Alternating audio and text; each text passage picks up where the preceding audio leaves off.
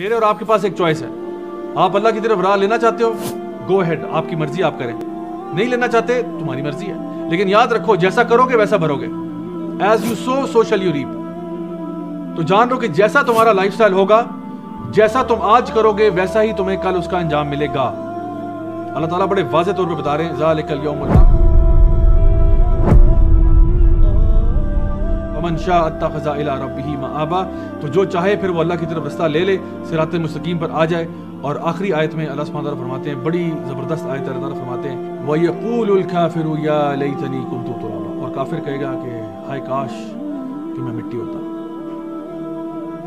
My dear बहन sisters सबसे पहले तो अल्लाह ताला यहाँ पे इरशाद फरमा रहे हैं कि अब हमने तुम्हें ये सारी जो बातें हुई हैं ना, चालीस आयतों में अल्लाह ताला फरमा रहे हैं कि, जिसको हम कहते हैं ना कि कंसिडर योर सेल्फ वॉन्ट यानी कि नबी करीम वसल्लम की एक हदीस आपने फरमाया कि जहन्नम तुमसे इतने करीब है जितना तुम्हारे जूते के तस में और जन्नत भी इतनी करीब है। आप खुद सोचें कि मेरा और मेरे पाँव का कितना डिस्टेंस है आपस में, कोई हार्डली कोई डिस्टेंस है। बस इंसान मर गया तो टाइम खत्म। मुझे क्या गारंटी है मैंने कब मरना है?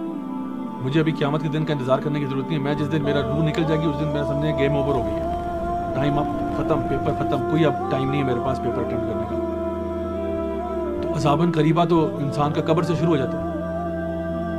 जब इंसान की डेथ होती है, बल्कि उससे पहले डेथ से शुरू हो जाता है। डेथ में जब उसकी रूह निकाली जाती है, वहाँ से काम शुरू है।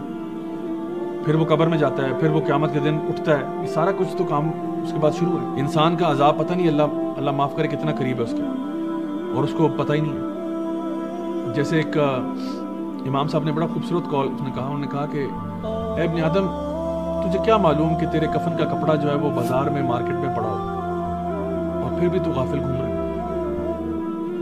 कि वो कफन का कपड़ा जिससे तेरा जिस्म लपेटा जाएगा, हो सकता है कि वो बाज़ार में अवेलेबल है इस वक्त।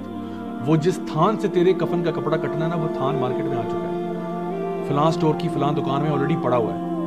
जहाँ पे तेरा कोई फैमिली मेंबर जाके वहाँ से कपड़ा लेके आएगा। और तू ऐसे गाफिल